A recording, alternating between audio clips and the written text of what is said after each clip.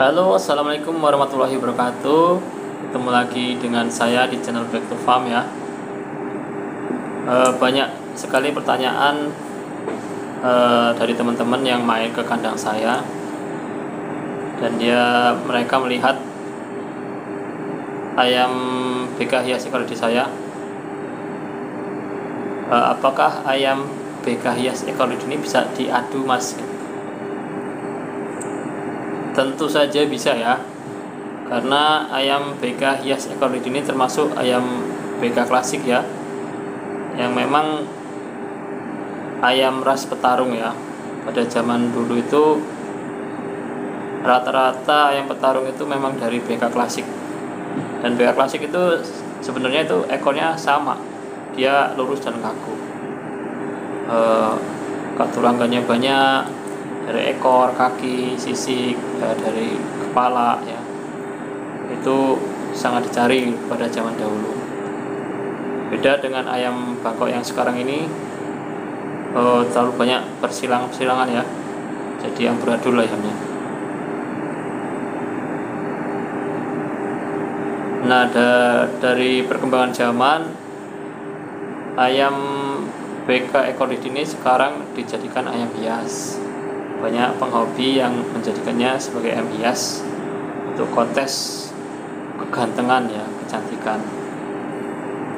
Tapi tetap saja masih ada beberapa penghobi itu menjadikan ayam BK hias ekor ini sebagai ayam petarung. Mereka membeli dan merawatnya tergantung dari eh, niat masing-masing ya. Kalau niatnya buat petarung ya monggo bisa sangat bisa bahkan ya. Tapi kalau saya pribadi niatnya dari awal memelihara dan berternak ayam ekolik ini memang sebagai ayam hias ya. Karena di daerah saya ini sudah mulai ada komunitas ayam hias ekolidi sudah ada wadah lah ya. Makanya memang uh, sebagai ayam hias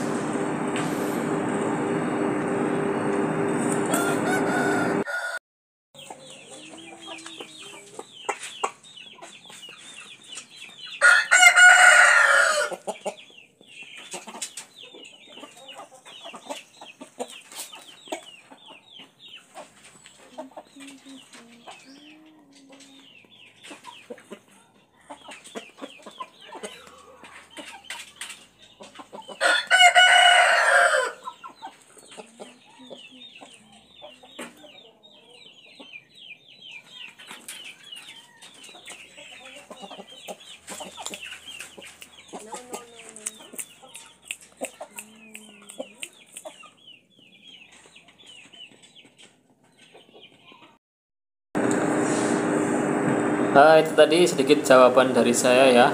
Uh, untuk yang bertanya apakah ayam ekor itu bisa untuk ayam aduan? Uh, kembali ke personal masing-masing.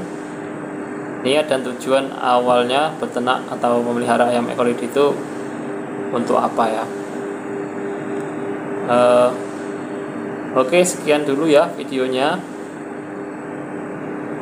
Jangan lupa like, comment, and subscribe. Dukung terus channel ini agar bisa berkembang dengan baik ya. Terima kasih untuk yang sudah menyaksikan. Salam satu hobi, salam ternak, sukses selalu. Terima kasih.